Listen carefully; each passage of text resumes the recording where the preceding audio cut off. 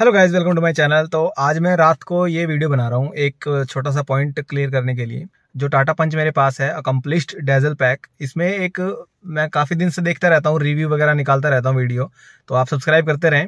मैं जैसे जैसे यूज़ करता जा रहा हूँ, इसका मेरे को नेगेटिव पॉइंट्स मतलब नेगेटिव पॉइंट्स इसमें कम हैं पॉजिटिव पॉइंट्स तो बहुत ज़्यादा हैं। तो मैं छोटे छोटे पॉइंट्स मेरे को जो प्रॉब्लम लग रही है ना, वो मैं डिस्कस करता रहता हूँ। तो आप भी कमेंट करके बताते रहें, आपको ये पॉइंट ठीक लगते हैं क्या?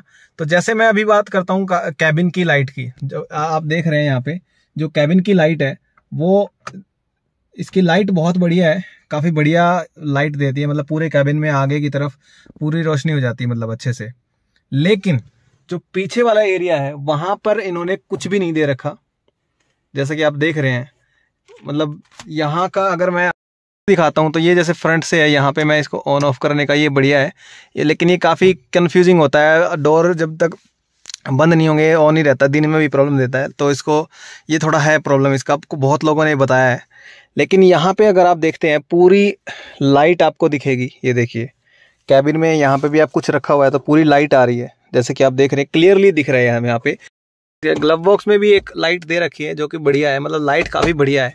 लेकिन अब यहाँ पे पूरी लाइट है, लेकिन पीछे की तरफ़ उतनी लाइट नहीं है। मैं चल के दिखाता हूँ पीछे आपको एक मिनट। तो ये देखिए, पीछे से इसका व्यू आगे की लाइट बहुत बढ़िया है। हेलोजन लाइट है, मेरे को काफ़ी बढ़िया लगती है, लेकिन मैं इसको चेंज कराऊँगा एलईडी में वाइट एलईडी में। आगे काफ़ी बढ़िया इसका लाइट रहता है। लेकिन अब आप देख सकते हैं पीछे की तरफ़। आपको यहाँ पे कुछ नहीं, मैं इसका यहाँ पे मैंने फ़ोन से ऑन किया है। अब आपको दिख रहा है।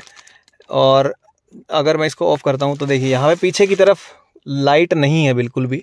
इन्होंने यहाँ पर एक बीच में देना चाहिए था, ताकि एक लाइट का फोकस यहाँ पे भी बने, क्योंकि जो पीछे पैसेंजर बैठे रहते हैं, उनको बहुत प्रॉब्लम आती है इस चीज़ से। तो मेरा यही पॉइंट था।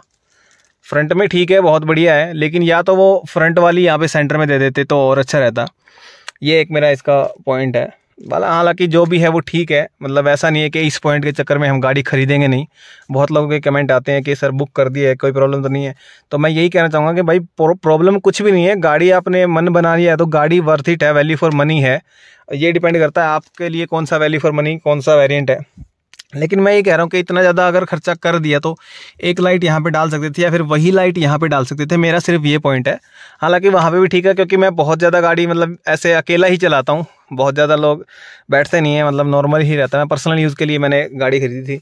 लेकिन कई बार क्या रहता है फैमिली टूर वगैरह जाते हैं या फ्रेंड्स के साथ टूर जाते हैं तो पीछे भी थोड़ा सा लाइट का फोकस होना चाहिए। कुछ ना कुछ तो लाइट के लिए देना चाहिए यहाँ पे, क्योंकि बहुत डार्क होता है ये देखिए आप। यहाँ पे दिख रहा है थोड़ा सा, लेकिन इसके पीछे कुछ भी नहीं दिख रहा है।